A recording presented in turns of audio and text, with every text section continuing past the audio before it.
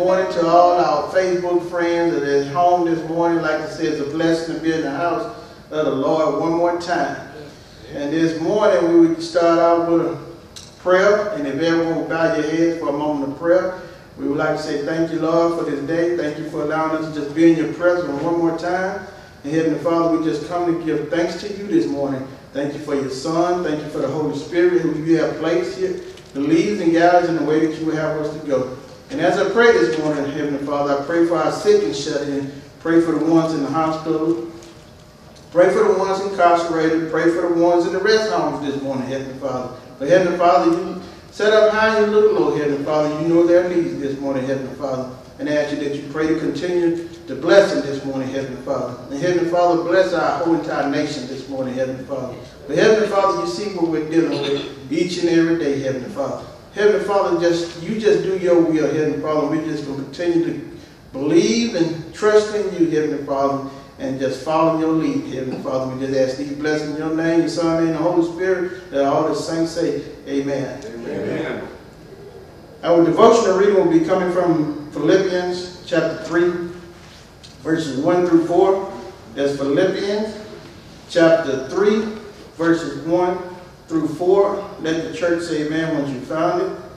You saying four or fourteen? That's fourteen, Bob. Yeah, Philippians chapter 3, verses 1 through 14. Uh-huh. Fourteen, baby. Okay, 1 through 14. Finally, my brother, rejoice in the Lord. To write the same things to you, to me indeed, is not grievous, but for you it is safe. Beware of dogs, beware of evil workers, beware of sick consciences, for this, for we are circumcised, circumcised, circumcision, which worship God in spirit and rejoice in Christ Jesus, and have no confidence in the flesh. Though I might also have confidence in the flesh, and if any other man thinketh that he have whereof he might trust in the flesh, I more. Circumcised the eighth day of the stock of Israel and the tribe of Benjamin, and Hebrew of Hebrews, as touching the law, a Pharisees. Concerning zeal, persecuting the church, touching the righteousness which is in the law, blameless. But what things were gained to me, those I counted loss for Christ. Ye doubtless, and I count all things but loss for excellence of the knowledge of Christ Jesus my Lord, for whom I have suffered the loss of all things, and do count them but dust, that I may win Christ. And be found in him, not having my own righteousness, which is of the law, but which is through the faith of Christ, the righteousness which is of God by faith, that I might know him and the power of his resurrection and the fellows- fellowship of his, suffering, being made conformable unto his death. If by any means I might attain unto the resurrection of the dead, not as though I have already attained, either were already perfect, but I follow after, and if that I may apprehend that for which also I am apprehended of Christ Jesus. Brother, I count not myself to have apprehended, but this one thing that I do, forgetting those things which are behind, and reaching forth unto those things which are before. I press towards the mark for the prize of high calling of God in Christ Jesus. The word from God for the people of God, and let all the saints say, Amen. Now we will turn over to our teacher today, will be none other than Brother Wyatt Jr.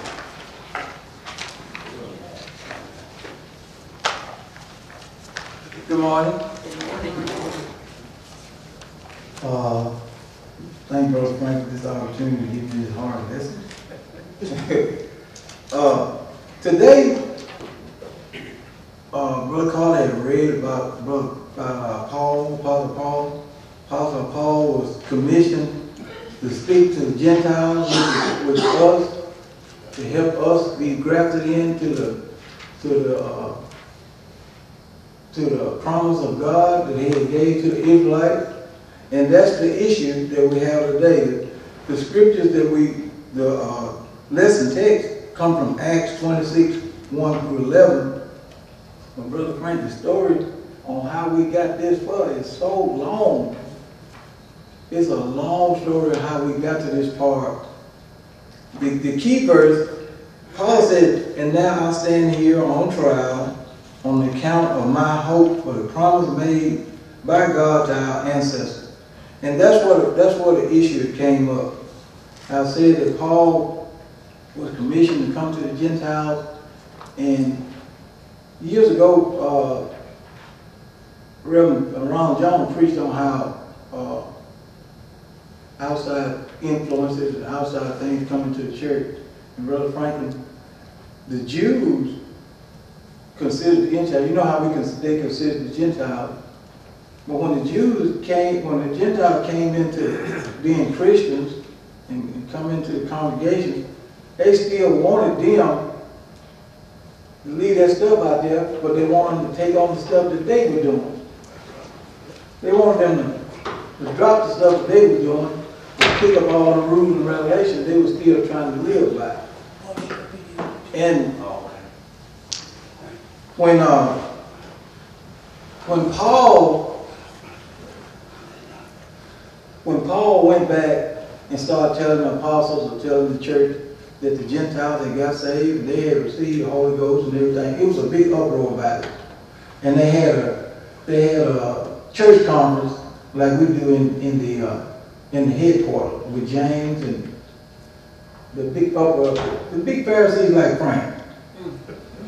They had they had a conference. They decided or they ruled on the things that the Gentiles was able to do because they weren't able to, they were supposed to live by what we live by. We, we ain't doing it ourselves. It was about that. I'm going to get to that in a minute. Well, Paul was invited in, into Jerusalem, but he said himself that he must go to Jerusalem because he had been called there to be briefed about what was going on. He was had heard about what was going on with the Gentiles. He was happy that the Gentiles was joining the church and, and that they were being filled with the Holy Ghost like David was, and they, he was so glad about it. But there was a sect in the church that they said they were mostly like the Pharisees, I mean the Sadducees. The, the Pharisees, the issue was Jesus being raised from the dead. That's where the issue came. The Pharisees, they believed in it, but they still wanted them to be lived by the law and especially get circumcised. But the Sadducees didn't. They wanted to hold on to their power by any means. If it means going along with the Roman government, if it being being mean keeping the Gentiles in one little corner and everything, it they were going to be a republic. I mean, I mean, they were going to be that way anyway. Even in our day and time, we see, without getting into politics, we see we got two factions. We got the Democrats and the Republicans. One believe one thing, one believe another. But in some cases, when they're bickering against each other, the people that they're supposed to be serving being left out. That's what happened in this issue. They was battling so much against each other about rules and regulations that the Christian church was being left out. And Paul was called to Jerusalem, and James and they want to hear about what was going on.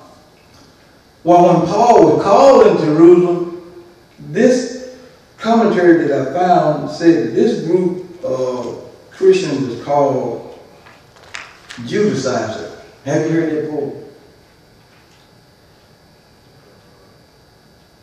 Judaizers? Yeah. I, I, I don't know how to say Judaizers. Judaizers? Yeah. Yeah. Okay. Ju- thank you. Judaizers. They were strict on following the law. Like you said, Brother Carter. You can be a Christian. That's what they said. Mm-hmm. You can be a Christian, but you still got to follow the law to the letter. One thing you needed to do was be circumcised to prove that you was a Jew. Well, they wasn't Jews. It wasn't their custom. They received the same thing from Christ as the original Christians, but the Jew, what you say it was? Judaizers. Judaizers didn't see it that way. They see, they see their point of view. So there was an uproar, there was an uproar in the area. They say in the city, there was an uproar in the area. And when everything got out of, out of, out of pocket and folks started rioting and stuff, the Roman, which is the police, they had to get involved. The head of the Roman, the, the, uh, the centurion, or what do you want to call it, he seen Paul, he seen what was going on, so he brought the Ju- Judaizer had Paul arrested, so he brought him in and was going to interrogate him. By, by, like I said, by any means. Put him in there, ask what's going on. Paul said what's going on. He ain't a Jew, so he don't know the customs and everything. So he still want to interrogate, why, why is all this problem going on? They saying one thing about Paul. Paul saying it ain't true. So he was actually finna flog Paul. In case you know what flogging is, don't you? There's been time of beating. Then Paul took out a trump card and said, why you gonna beat me and I'm a Roman citizen?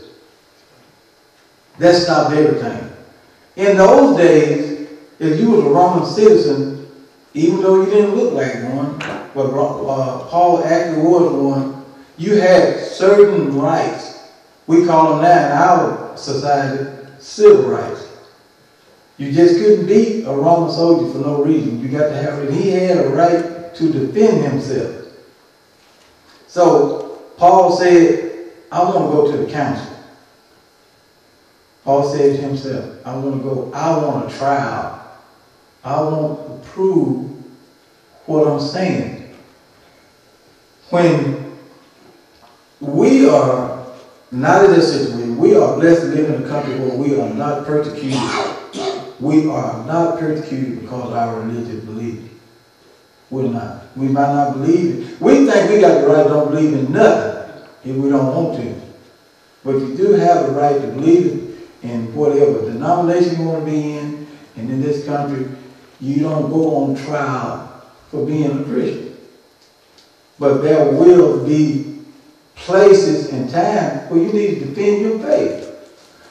Because I worked in a plant with several denominations. Strong people in their denomination. Wrong. I worked in, in a plant where people didn't believe in nothing. I, I came against an atheist one time was so powerful in what he thought he knew that you had to have Jesus. You had to have the Spirit of God to deal with this joke because this joke was saying stuff that halfway made sense to me. It did, but, but he didn't know what he was talking about. It took my faith, and now growing. I wouldn't waste time talking to him now. But what he was saying, the rest of the people in the world, in, in the room was listening to him, he could have influenced a whole lot of people. When our kids go off to college, and they can be, and I know, I, I, I know from experience, when our kids go off to college, they introduce to people with all kind of beliefs, all kind of stuff. Then they come home and question you about on things that you ain't, you know, you don't even entertain that foolish, foolishness. But you got to be a strong Christian in your faith to be able to defend yourself on that. One of the one of the uh, greatest compliments, I, I, this is my slogan, but Lord, one of the greatest slogans that anybody can throw at you is, I remember when you used to. Yes, sir. Yes, sir. One of the emails, when, when somebody come up out the world and tell you, you know what, you so holy now, I remember when you used to. Yes, sir. That's good. Don't, why you get mad at that? Because they see a change in you. Brother Jones preached four or five years ago about all this stuff that coming in. You was talking about preaching about music. All this stuff coming in the church and everything. If people was out there with you and seeing you being a good whatever you was out there, and you come in here and they see what you is in here, and they mention it, that means you they see a change in you. Yes, sir. We shouldn't be offended by that. These people was putting Paul on trial because he had changed. It was two times that he, he gave his testimony. about what he had did and what he had went through when he didn't get knocked down off the beast. that came up when he saw the light that made him, made him see the light. That reminded me of a, of a story of my own experience. I worked with a white deacon. I'm gonna call him that. He was a white guy. He was a deacon. I was a newly thinking about fixing to be Christian. It was on my mind, but I hadn't made it yet because every time I get close to making that decision, I go to cussing and stuff and just drop out for a minute when somebody make me mad. So God put me with him, and it was several people in my life to help me help me see, make make make me see. So I worked with him day after day. Me and my friend saying them big, long, I mean, long folks sailor cuss word. And he just didn't say nothing. He could talk about the same things that we talk about, didn't say a single cuss word. So one day I asked him, why don't you cuss? You know what that joker started doing? Start singing. I saw the light. I'll never forget that. It wasn't funny to me. It was, it, it kind of like, it crippled me. It kind of like, it changed me. He said, I don't have to. He said, I can talk about basketball, football, just like y'all do. He said, God took it from my mouth. I won't do it. He saw the light. Paul, I know it's a long story. I'm gonna get to the verses, but they they didn't say, they didn't say how come he was on trial. Paul was the same thing. Paul did the same thing. Paul was brought up as a Pharisee. He learned from the greatest Pharisee, Gamaliel. What's his name? Gamaliel. Gamaliel. I got that right. He learned from him and everything. And then when Paul became a persecutor, a prosecutor, he was a persecuting prosecutor. If he knew that this part of town, these families or something was Christian, he would go get papers, like arrest warrant, and he would bring them to be tried. Sometimes some of them even be killed. Paul used to do that. And he, brother, oh, he was good at. Now, when Paul gave his testimony like we should, Paul mentioned that he did those things. He was testifying, he wasn't bragging. When you said, who, who, who was preaching and said they was a good sinner? When you say you was a good sinner and you stand in the right, you ain't bragging about it. You actually saying, if God can save me, he can save you. That's right. Because I was, you wasn't doing it because, you wasn't doing it because you just accidentally slipped up and did it. You did it because you liked it. Paul liked tracking down people and putting them to death and putting them in jail for following the way. That's what they call it, following the, the way. Following that Jesus stuff. Doing what Jesus said. So Paul tracked him down just for that. Now guess what? He in the same predicament. Now they trying him for the thing he used to try people for. That's right. Paul, hmm? yeah, Paul, a verse said that Paul, Jesus told Paul, told somebody that Paul would be, Paul would be a witness for me, but he gonna go through a lot of stuff for my sake. Because Jesus said, okay, since you're gonna be a tool, you out here sharpening those skills on how to do stuff, I'm finna flip the other side of the axe and you're gonna be working for me. So when he was knocked out, when he fell on the ground from, when he fell on the ground from that light, and them scales on his eyes, he couldn't see, and they took him back. When they took the scales on, he could see better than he ever seen after he took it off. He could see where he was wrong, he could see where he needed to go. What he needed to do for, for, for Christ. It's all about, I told Brother Orr last month, we're in a unique position down here, church. And I'm going to say it's us, me, Brother Franklin, Brother Orr, now you, and all the preachers. We seem to be on the same line. Now, what I mean by that, you can have different hmm, theology, theological belief, you know, you're gonna wash feet, you might ought to wash the right foot before you right, wash the left one. That's just a joke. But, but us, we, well, I mean, I commend, I love it. We are all on the same line. And that line is, everything we talk about is about Jesus. That's right. Everything. Even though the subject today is about Paul, but it's about what Paul did for Jesus. That's right. When we get to the verses, we're going to see Paul was on trial because he was teaching people that Jesus rose from the dead. The most fundamental belief that we have to have. We can't really get where we need to go if we stop and Jesus died on the cross. I had to learn that. I don't even wear the cross with him still on it. But somebody told me, that's, that ain't the whole story. You got to the part where his life stopped earthly, but his eternal life kept going or started up.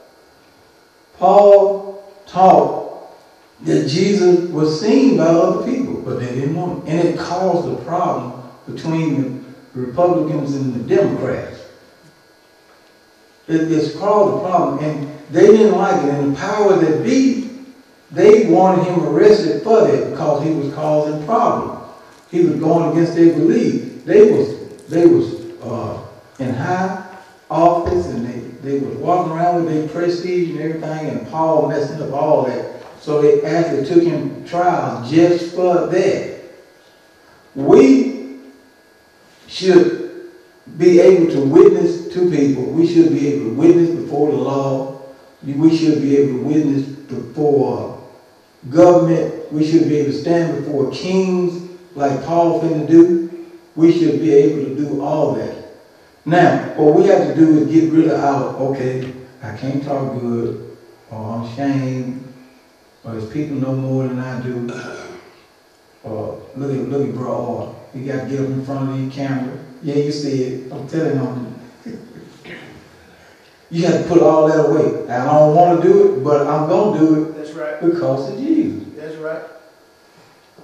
Jesus didn't tell you to stand in front of the camera. Right. He inspired your pastor to ask you to stand in front of the camera, and you're being obedient. That's right. when you got to share with when when uh I was on I was on I wasn't on trial I was at a trial one time and the lawyer said how many of y'all don't swear he said I ain't talking about cussing because how many of all of us we raised our hand so he said it's in the text down here is do you swear or affirm can you say you affirm I said yeah we all say we affirm we were able to still be who we were and don't break our commitment to Christ. Can we do that with a person that we witnessing to? How do you know Jesus exists? Or can you come down here in front of everybody when this church full and say, yeah, I'm a Christian, and explain why? Oh, I mean, I ain't asking you, but you gotta be, you gotta be ready to do that in your life situation. Paul was ready to do that. He had went to Jerusalem. He had met with the met with the, the uh, officials, and they had agreed on what the Gentiles should do and everything. Then um, Judah, Judaizer. Judaizers, the Judaizers had him arrested when Paul said that he wanted to be interrogated or he wanted to be on trial. and He wanted to go see the big wigs, the king and stuff. They come up with another plot to assassinate him on the way.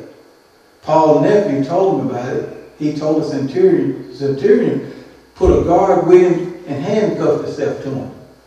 And he was with him the whole time. And he went went up to uh, Caesarea, and there was Agrippa, but it was Agrippa the second, Agrippa Junior, and there was another guy there with his wife. Her name was Bernice. They ain't yet. So he was before them. He told him he wasn't guilty of it. They interrogated him and everything. And they said that they didn't find no reason for this man to be put to death, anything causing death. And they pretty well did him like Jesus. They kept passing him around from one to the other until he get to uh, Agrippa. When he got to Agrippa, that's when the trial started. And Agrippa, and I'm looking for the first, we're gonna go to the first verse. Yeah. Acts 26 and 1. Then Agrippa said to Paul, Thou art permitted to speak for thyself. Paul was going to defend himself, and Paul stretched forth his hand and answered himself. I think myself happy, King Agrippa, because I have, I shall answer myself this day before thee, touching all things wherein I am accused of the Jews. So, in verse 2, the first, in the first verse, which is self-explanatory, when Paul got on trial, Agrippa gave him permission. It's like, like the judge do now. You have a lawyer, uh, Agrippa gave, gave him permission to, to uh, defend himself. Then Paul said, you know what? I'm kind of glad I got this opportunity to talk to you about these things that accuse, the Jews accused me of. What did they accuse me of? They accusing him of causing disturbance, but the major thing, he is teaching them against our custom. Before he teaching them this way. I, I like to play off words, of, of Brother Pam. What did Jesus say? I am the way, The truth. and truth and life. And they call Christians, Christendom, the, the Christian faith, they call it the way. And they meant by the way these people worship, the way these people do. And he said, I am being accused by the Jews of this. Then Paul went to explain what this was they was accusing him of. In verse 3, especially because I know thee to be an expert in all customs and questions which is, are among the Jews, wherein I beseech thee to hear me patiently. Agrippa, this, is, this was Agrippa Jr. Agrippa's, King Agrippa's great granddaddy, they say was Herod the Great. His son, which had turned out to be Herod, was the one that tried to kill Jesus by killing all the two-year-old kids when Jesus was born. Because why? He knew or he had someone to tell him the prophecies of what the, the Savior or the Messiah is supposed to be born. He was letting Agrippa know, you've been taught this stuff all your life. You've been taught, everything that they talking about, you've been taught all this stuff on how it goes.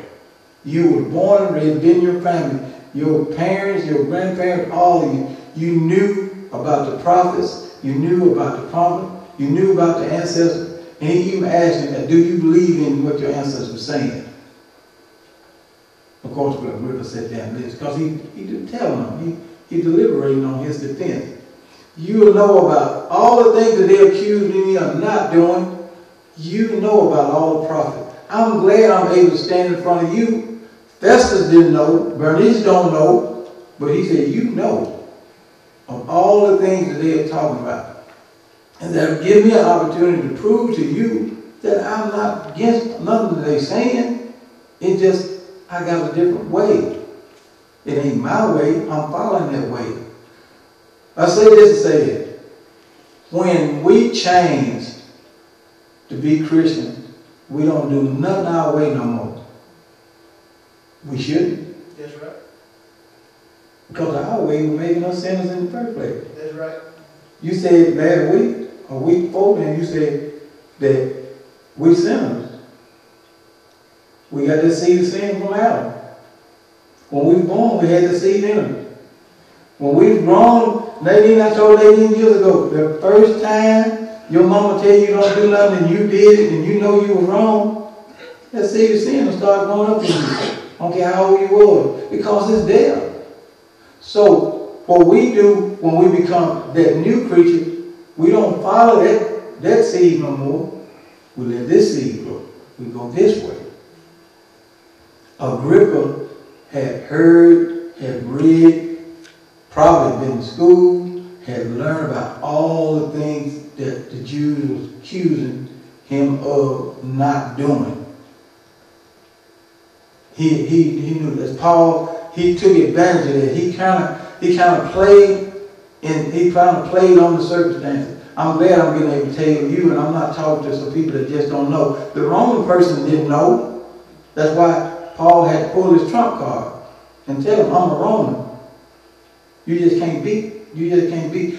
And, and, and when I first came up, lady, if you was an American, and you went to a foreign country, and, and they did something wrong to you, it scared them when they found out you was American because they, they don't know the American come over here and do something to it. It ain't like that no more, but it, it used to be that when you was a Roman citizen, you had citizen, you had rights. When you was a Jew, you had rights in the Jewish community. Now these Christians coming and they still Jews and Christians, but they still saying you ain't you you not you teaching them contrary to what our ancestors believed. Verse three. Bro, I got to say on Paul's conduct here. Yeah. He's conducted himself as we should. He's been falsely accused, and I didn't know they said that he, he been, in- he been in jail similar, kind of, almost two years. Mm-hmm. But then he's, he's telling this man, um, I appreciate you, you giving me a chance to speak. I'm just saying that we ought to learn how to conduct ourselves, even though we've been falsely accused and mistreated, that's still a way we ought to conduct ourselves before people. Because that people can still see Christ in us if we kind of act like Paul. And Paul could have had an attitude, because I mean, but he, he didn't. He's very polite. And he should be because he's on trial, but still and yet his conduct. I just seen, uh, y'all may have saw that on the news. They had an election up in New York. Black guy, Jamal Bowman, Mm-hmm. and he was running for election. And I seen him at one of his speeches, and he was cursing up a storm. Mm-hmm. I said, goodness gracious, you want to be re-elected and talking like that? Well, he lost the election. So I said, well, Paul know how to conduct himself, and we should too. When, when, uh, when, uh, Roman was in Florida and he, he, he did his appeal, they did, he kept him for two more years.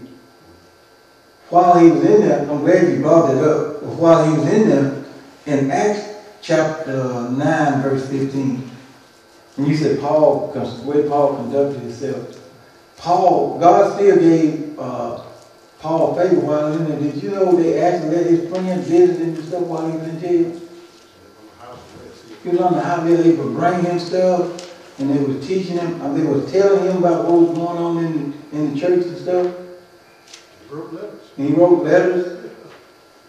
Yeah, he was on the house arrest. He was still, eventually killed him, but he was still on arrest. In Acts, uh, chapter 9, verse 15, the Lord came to Paul while he was you know, under house arrest. And the Lord said to him, Go, because I have chosen him to serve me. No, that's the wrong one. It's the wrong one. Okay, yeah. Act, I'm sorry. Acts chapter 23, 11. I'm sorry. That's where he told the man to go see Paul and take his stuff off head. Yeah, that's, but this one was Paul, Jesus talking to Paul. Acts chapter 23, verse 11. That night the Lord stood by Paul and said, Don't be afraid. You have given your witness for me here in Jerusalem. You must also do the same in Rome. So he got arrested in Jerusalem. He appealed to Caesar, and they've been taken to Rome. Two years later, he, he, he, he, he, he on trial to give his appeal. You said about this man, that was a chance for him to give his witness and everything. We, and his was about power. I ain't saying you don't run for politics. I ain't saying that. I ain't gonna say it. Some people think preachers and, and deacons and ancates and all them supposed to run for politics. I'm not saying that. That's not what I'm saying. But use that plat. Don't let that platform stop you from being a Christian. Don't, don't, don't do it. And we, I, I don't even, I don't even like watching the news now. I watched the debate the other day. I watched the debate the other day. I watched CNN. I just quit. I'm, I'm, I'm weaning myself. I quit watching. I'm fasting for a whole two weeks. I ain't watching the news. because I don't, you know, I don't see how come they don't see it. I don't. When I was out there, I didn't see it. Now I'm in here and I see how come they don't see it. But to be able to do what Paul did, have to come from God. It have to be where you can stand up and knowing what you're going to say might get you killed.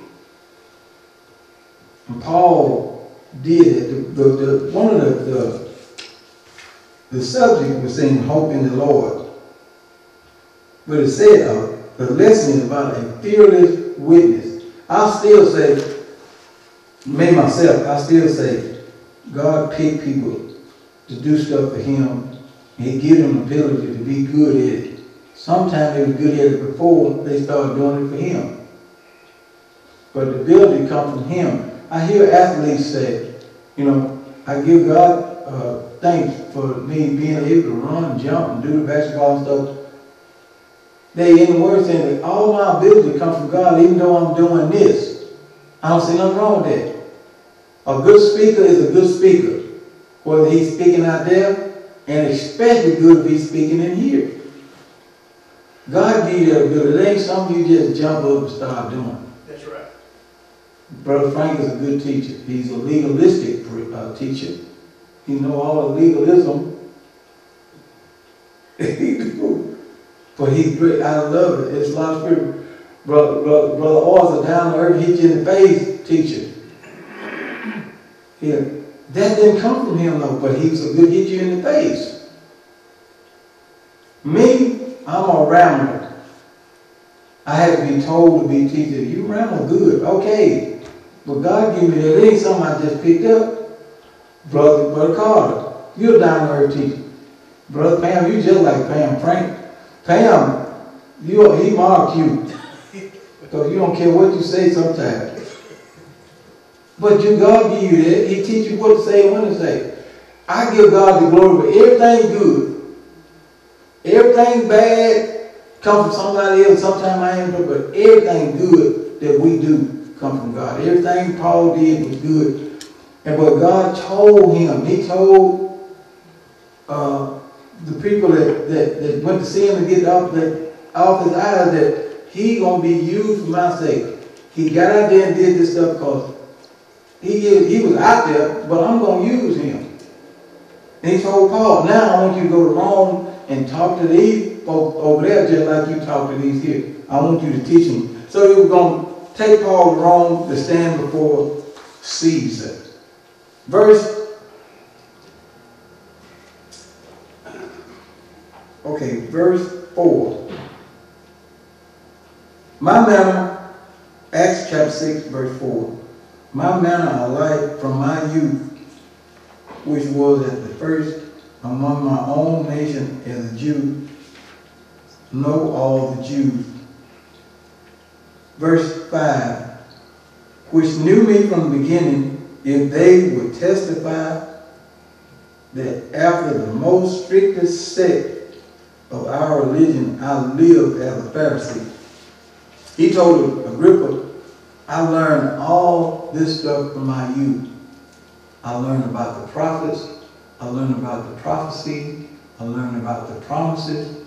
I learned about God. I learned about what God did in the wilderness. I learned about what God did to the prophets. I learned what God did to the people.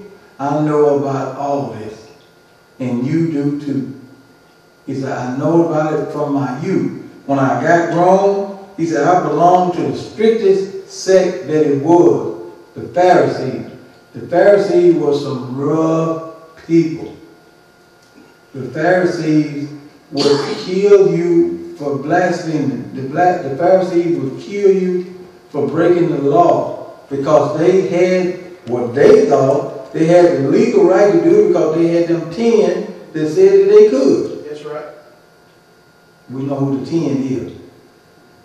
Thou shalt not, them thou shalt not, they got a lot of folks killed. But he was, he belonged to that sect. I elaborated when I first started. I don't know who made Paul the head prosecutor. I don't know, didn't never, uh, I didn't find out what, it was, but he was. He used to have papers to go get people, get them, have them killed. Stephen was one, it didn't say that he was, was he there? Yeah, he was there. When Stephen was stoned, Mm, when Stephen was stoned, mm, he was there. okay. Because he wasn't volunteered after, after all the other ones started fleeing the, the city. He didn't want to volunteer, said, I go, send me. He wanted to be the one to go and, and and bring it back. Now, he, he, he, he, he had papers to go get him. Right. So he did. He held the code, the Pharisees, uh, Right when he was dying, he said that he see, he seen in heaven, didn't he? Okay. They would throw a rock upside your head. They were stoning him. I, I say it that way, Nadine.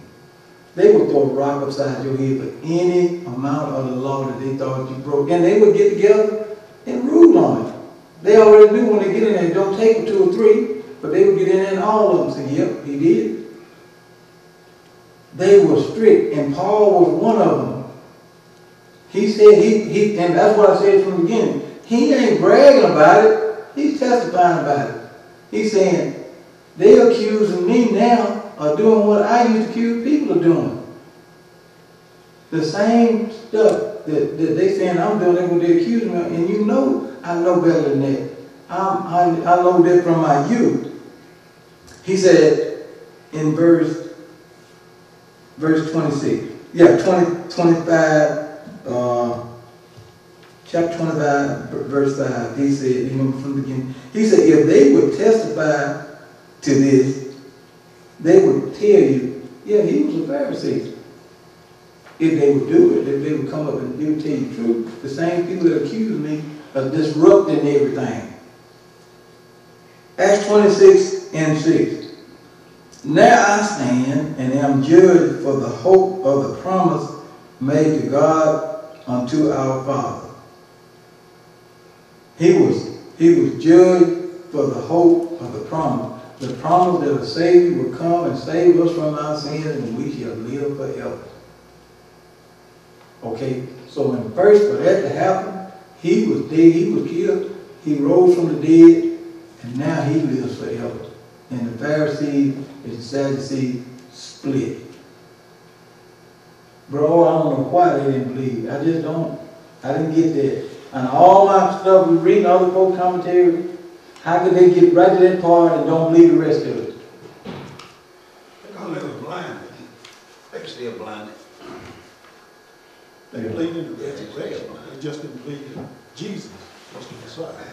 I did see that one commentary said they did, they, they believe in, in some aspect of a resurrection at the end with everybody, with the, with, Pharisees and Sadducees didn't. yeah. Sadducees. They couldn't, they just, like Paul said, they just couldn't see it. They couldn't see, it. they couldn't see, uh, wrong, glad you said, because it's one instance where that group, the Sadducees, said that Jesus was that bad. He, he was that, all that all powerful. How come he let them kill him? Y'all got a weak savior if he gonna mess around and get killed. So they were looking at, at, at, at all the way human. If he was God, he was why why he get killed? He couldn't he couldn't stop it. But frankly, the, the Pharisees believed in it in a way, but Sadducees didn't believe in it at all. And they showed up didn't believe Jesus was born. Paul teaching these folk, yeah, but he he was. Folks seen him. He showed himself when infallible proof that we still alive. He showed them. They said, well, he need to be killed for saying that. So that's what he was on trial for.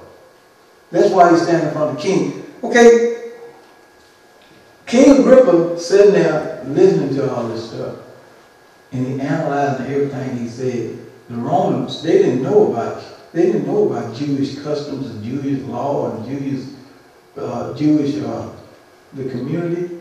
But, um, sir, but these people, the ones that he, these three, these three kings and judges and the judge's wife and all that, they had some way.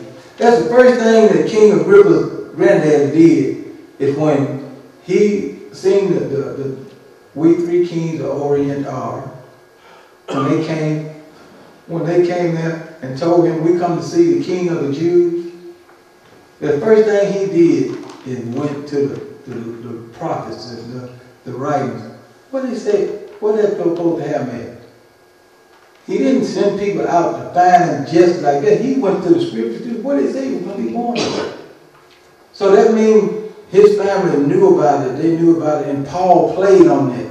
Paul played on that. Paul played on every word that, you know. And if they would testify, they would tell you, I, came from, the, I was, I was bad. I was coming from the strictest form. And they accused me of stuff that's just not true. Acts 26 and 7. He talked about the promise that was made unto the fathers. And on, on 7 was unto which promise was our 12 tribes. Instantly serving God day and night and hope to come, for which hope's sake I, Agrippa, am accused of the Jew. The hope is for a Savior come to save us from our sins and to give us eternal life. That was the hope. That was my hope. That hope started, Paul saying, that hope started in me believing on the person that give us the eternal life. He was more than just a mere man. He was more than a good person. He was more than just a prophet. And he ain't dead. He's not. That's what he's saying. We got witnesses. We got people who've seen him. Then that's when uh, Paul went into his monologue or went into his testimony on what happened to him on the road to Damascus. He even told that of what happened to I met him myself. That's right. And he told me what to do. He told me I was going to be here. He told me I was going to go to Rome. In verse 8, 26 and 8, why should it be thought a thing incredible to you that God raised the dead? Bro, why is it so incredible? I'm talking to them. You know what I mean? I'm using your, your analogy. Why is it so incredible? But you, they knew about God parting the Red Sea. They knew he could do. Powerful stuff. He parted the Red Sea and brought them out of Egypt. But they can't believe what he said. I'm raise, I'm going to send a Savior, Savior, Savior, sin. And you won't die no more. I know what you said, they don't see it. But he asked them, why can you believe some of it and don't believe all of the promise? Why do you believe that I've told your daddy that I shall make him the father of many nations, not just this nation, that the Gentile was going to get what y'all got? That would throw them off, bro. No. We are the chosen people. We are God's people. No, nobody's supposed to have this but us. I, uh, uh, and Kate came up, and Kate, y'all did too, bro. Y'all came up through the tough time rougher than we were. I came up through, I seen, I seen one sign, but I couldn't drink in this water fountain. And I asked Dad how come. And he told me, because they think they better than we are, and they don't want us to drink out of their water fountain.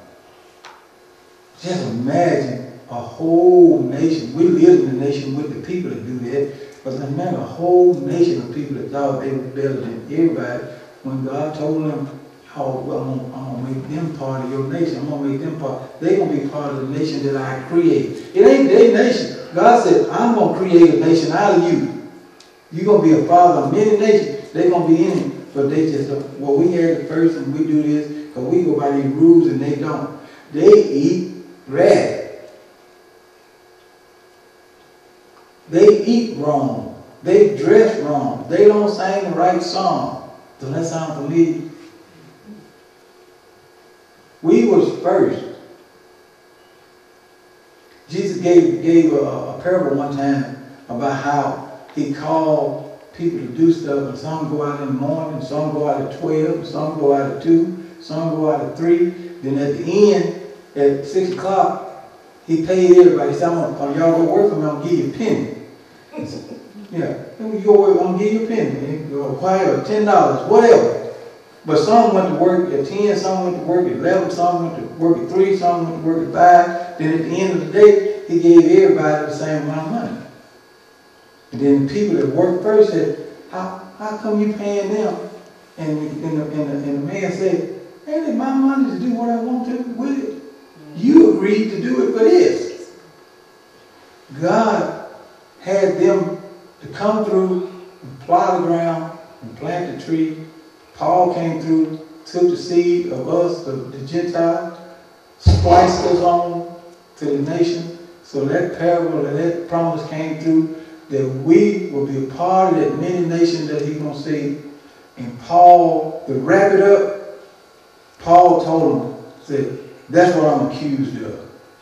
They even said, if this man had not appealed to Paul, we would let him go. He, he would have been free. So let us, if I can leave anything with you, let us be prepared to give a witness. We might not never have to go to court and tell the judge I'm a Christian. But sometimes in our life, our loved one, Nadine, somebody we know seen that you walk around all holy and stuff and be able to talk and without getting mad, explain to them why I am the way I am now. Thank y'all. I'm gonna turn over to Brother Carter. Thank you, Brother White. Wonderful lesson this morning. We have a review by young class?